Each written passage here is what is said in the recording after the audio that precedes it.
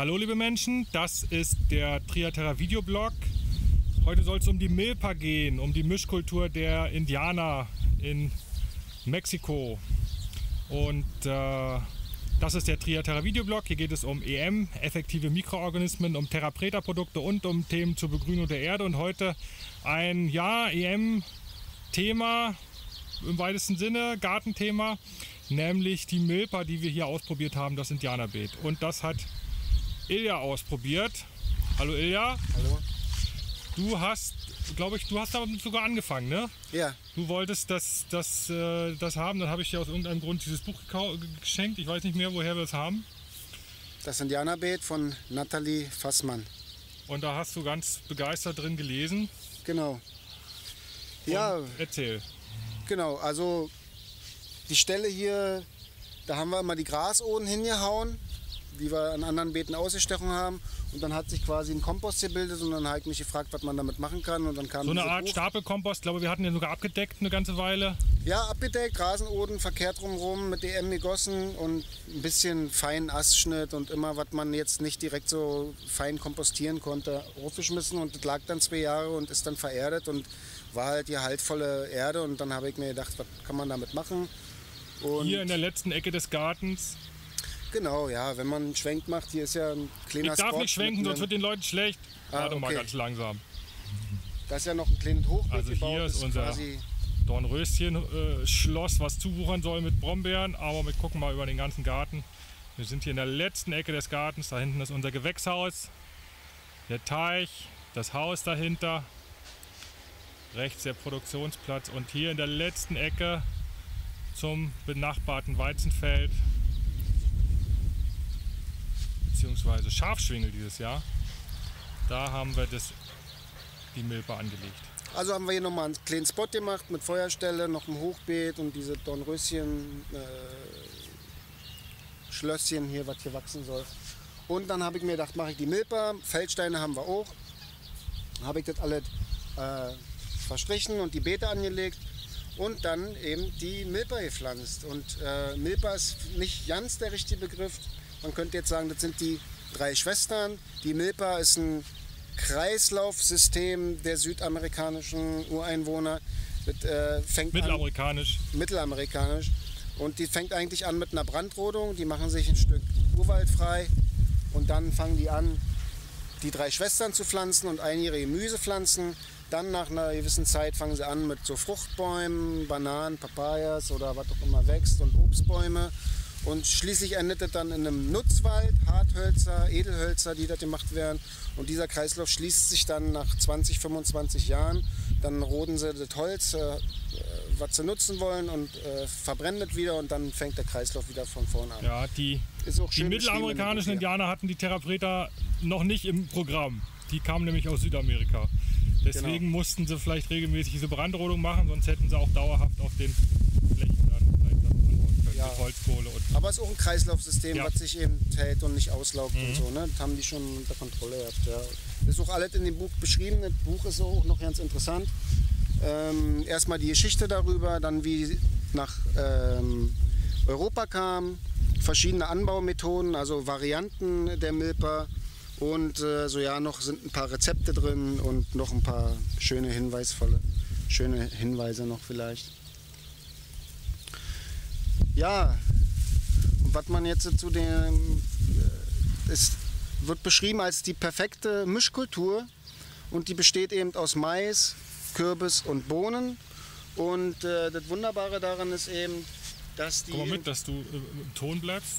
dass die in verschiedenen tiefen Wurzeln, ne? also der Mais wurzelt tief, der Kürbis wurzelt eher flach, also die greifen auf verschiedene Nährstoffe in verschiedenen Schichten zu und die Bohnen geben noch Stickstoff ab an den Boden und die rankeln dann eigentlich am Mais hoch und wir haben ihnen jetzt hier vielleicht noch so ein paar Gerüste gegeben, das unterstützt es noch so ein bisschen, weil irgendwann ist das ein wirklich Dschungel. Ne? Riesenknöterich-Stangen vom letzten Jahr haben wir da noch, hast du da noch Gerüste gebaut? Also irgendwann ist es ein richtiger Dschungel und dann, äh, wenn man die so ein bisschen weiß, wo die Bohnen stehen, sind sie dann noch leichter zu ernten. Weil das ist dann irgendwie, das läuft hier 5, 6 Meter im Radius hier noch irgendwie äh, der ganze Kürbis, der, ja, Wird ein Der Dschungel Kürbis dann wird hier, sich ne? noch stark ausbreiten, genau. Und man Und die sagt Bohnen haben wir noch nie gesehen. Warte, da muss ich mal ran. Ja. Also die wachsen hier jetzt auch schon raus. An den Stangen hoch. Wir haben sie extra um die Stangen gepflanzt, weil das, wenn das so ein kleines Beet ist, ist das nicht so einfach, dass sie an dem Mais hochwachsen. Wenn man das richtig feldmäßig macht, dann macht man das normalerweise, dass sie am Feld hoch. Äh, also das wächst schon hoch, aber mit der Ernten, mit dem Ernten ist natürlich dann. ja, ne? ja. Wenn du jetzt an jeden Mais irgendwie zwei Bohnen noch gesetzt hättest, dann puh. Und so viel brauchen wir ja eben auch nicht. Ne? Dann haben wir halt ein paar Stangen drin, ein paar äh, Stangenbohnen.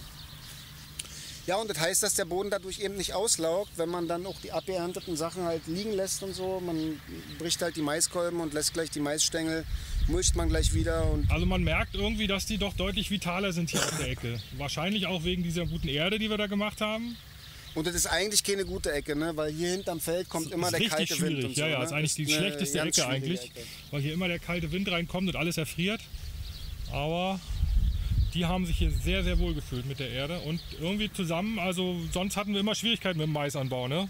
Ja, Der ist nie richtig ja, ja, gewachsen. ja. Ei- Als Einzelkultur wollte der nicht so richtig so.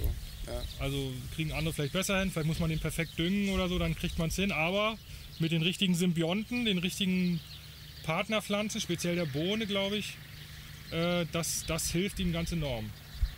ja. Und ähm, dieses Jahr habe ich so ja noch mehr Kürbisse reingepflanzt.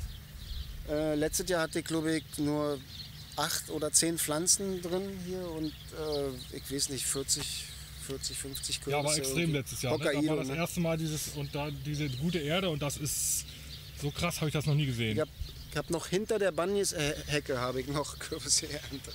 Also hier drei Meter weiter ist die Hecke, Hier die Hecke, die Banjes-Hecke und dahinter war also noch Kürbisse. Ja, was kann man noch sagen?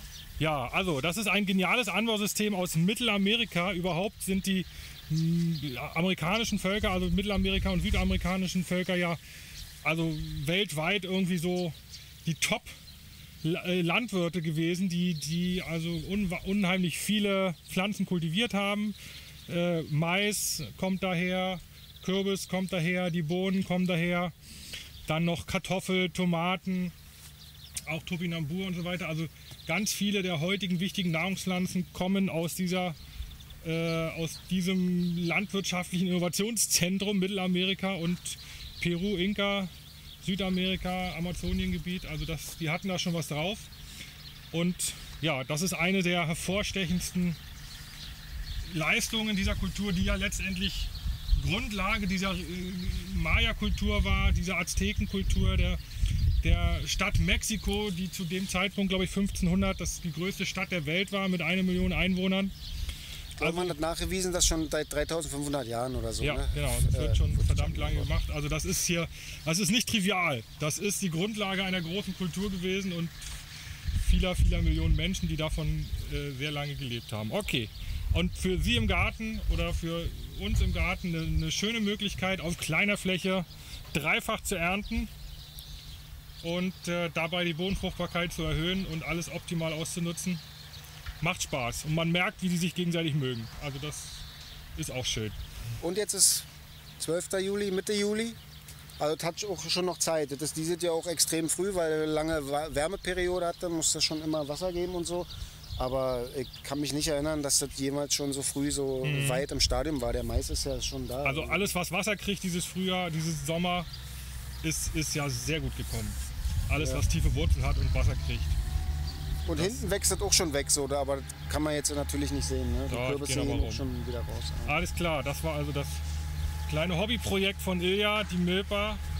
Und Ja. äh, wir werden den Mais, das ist übrigens Bantam-Mais überwiegend und noch eine andere Sorte, hast du gesagt? Eine andere Sorte noch, die Also Bantam ist diese Mais, dieser Mais, der bestellt. gerne von den, äh, da gibt es so ein Projekt, äh, Ba- Bantam Antigentechnik Mais, weil jeder, der Mais anpflanzt, darf sich in eine Datenbank eintragen und dann müssen Landwirte, die in der Nähe Gentechnik Mais anbauen, entsprechend Meldung geben, hallo. Und so kriegt man dann raus, wo die Landwirte überall Gentechnik Mais anbauen. Äh, und so als quasi als Symbol, man kann also auch ohne Gentechnik äh, Manipulationen sehr äh, gute Ernten erzielen, speziell dann eben auch mit der Milpa. Ähm, Und, äh, aber seit 2009 wird in Deutschland kein gentechnisch Mais mehr angebaut. Aber die Bantam-Sorte ist einfach ein leckerer Süßmais, den meine Tochter und meine Frau und mein Sohn super gerne naschen. Man kann auch unsere Zuschauer fragen, ob die sich mit eigenem Maisanbau ein bisschen ankommen, weil die meisten Maiskolben, die haben dann hier drei Triebe Also das habe ich auch noch nicht gesehen. Ich weiß gar nicht, warum der das tut dieses Jahr oder und letztes die Jahr auch tragen schon, ne? hier auch an der Seite nicht so, manche ja. Also unsere Maispflanzen haben einen Haupttrieb und zwei, drei Nebentriebe. Und ob man die rausbrechen kann, ob das der Pflanze schadet oder nicht, oder ob das so Soll ja man die vielleicht stehen lassen, die Seitentriebe, soll man die stärker rausbrechen? macht irgendwie. Kolben haben die nicht, ne? aber vielleicht kommt ja noch einer ran. Vielleicht kommt noch was Kleines dran und dann könnte man das so ein bisschen als Babymais halt ernten, so, ne? Irgendwie so ein bisschen klein und zart. Aber ich kann mir Aus vorstellen, einem Samen, aus einer Pflanze. irgendwann schiebt es an den Seiten noch hoch. Siehst du? Ja. Das ist wohl auch eher so die Urform, die mehr, die mehr Triebe entwickelt als ein. Vielleicht liegt es ja auch an dem guten Boden oder an der, an der Symbiose. Ja. Okay, ich gehe nochmal ums Bild rum.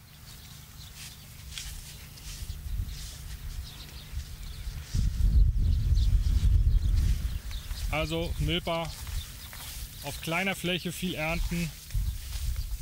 Macht Spaß. Da wächst der Kürbis schon raus hier aus unserem kleinen Beet. Herzlichen Dank, Ilja. ja, bitteschön, gerne. Und an unsere Zuschauer. Mais ist nie als Monokultur gedacht gewesen, sondern immer als sym- symbiotische Pflanze mit Bohnen. Man könnte es sogar mit Buschbohnen kombinieren, aber mit, äh, am besten mit Stangenbohnen. Und So von den. Ernährungswerten äh, interessant, ne? Also Mais ist und Kürbis Genau, Mais an sich ist eigentlich zu kohlenhydratlastig. Bohnen an sich sind eigentlich, äh, also die, die ernähren sich von, den, von dem Eiweißprofil und von dem Energieprofil wunderbar, dass man keine Mangelernährung kriegt, wenn man die drei Sachen zusammen isst. Ja, genau. Also dann braucht man so gut Das wie keine. Quasi Grundnahrungsmittel, ne? Das ist tatsächlich so, dann ne? Kürbis, perfekte Mais, Bohnen. Grundnahrungsernährung, wenn man, Ja. wenn man optimal von der Fläche sich ernähren will. Okay, Gut. bis nächste Woche. Tschüss.